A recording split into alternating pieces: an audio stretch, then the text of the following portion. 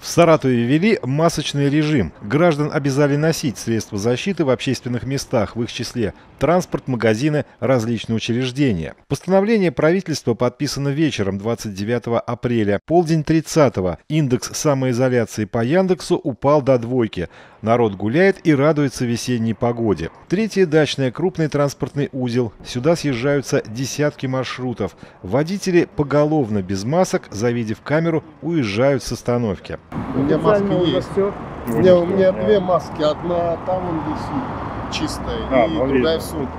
Но я не знал. Народ в транспорте о нововведении тоже не слышал. Маршрутки забиты, люди сидят без масок, социальная дистанция в полтора метра. Забудьте. А вы слышали, что с сегодняшнего дня у нас масочный режим Саратовской Нет, не области? слышала. Нет? А так маски носите обычно? Да, носим с собой. Где заходим, масочки есть. Вы слышали, что с сегодняшнего дня масочный режим ввели? Да, слышала. Ну, я вышла с автобуса, сняла. А вы верите в маску? Но это уже другой вопрос. Ну нет, это как раз тот самый вопрос. Но так вообще носите или вот не Ну, нет, конечно, смысл какой? Ну это, как сказать, суеверие, я считаю. Слизистые глаза, открытые участки кожи.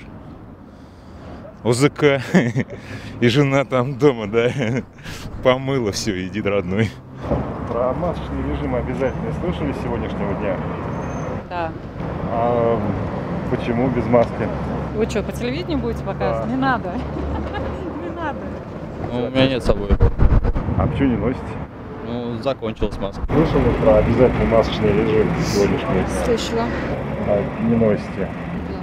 А это уже Сенной. Картинка все та же. Безмасочные водители, пассажиры и непонятно куда идущие люди. В местах скопления людей на тех же рынках тоже далеко не все носят маски. Многолюдно и на проспекте. Неужели все с пропусками и спешат куда-то по работе? Люди отдыхают на лавочках. Вот, к примеру, минутка отдыха у разносчиков еды. Похоже, что Яндекс не врет. Саратовцы наплевали на самоизоляцию и массово вышли дышать свежим воздухом. На этом фоне удивляет отсутствие на улицах полиции. Пост с проверяющими пропуска за все время съемок был замечен лишь однажды у администрации Ленинского района. Получается, что с одной стороны для нас вводят новые ограничительные меры, с другой весьма либерально смотрят на неисполнение всех предыдущих. И можно ли с таким подходом победить коронавирус?